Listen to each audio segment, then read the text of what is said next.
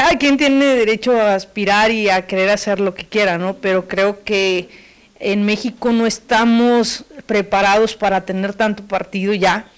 De hecho, ya la, política en México ya no es para, para estar de un partido a otro, ¿no? Creo que tenemos que avanzar en política, tenemos que tener un crecimiento en política y los ciudadanos tomar decisiones, pero no en base a partidos, sino en base a personas, en base a propuestas, porque partidos se pueden surgir todos los días, o sea, estamos hablando de que Manuel Espino quiere crear el de él, Andrés Manuel López Obrador quiere crear el de él, por ahí hay un partido, ahorita no recuerdo el nombre, creo que es el PSP, no recuerdo bien, quiere recuperar su registro, imagínate, estamos hablando ya de nueve partidos en México, y eh, desafortunadamente eh, la gente por lo mismo no define una ideología, no define una, una posición política y eso hace que eh, la política en México esté deficiente, que dé pena, la verdad da pena la política en México, pero eh, creo que esos políticos o que se dicen políticos deberían de ser un poquito más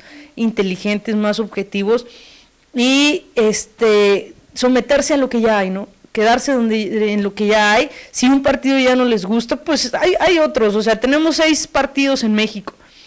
Entonces creo que hay una, un, panorama, un abanico de opciones políticas que le pueden servir a todos.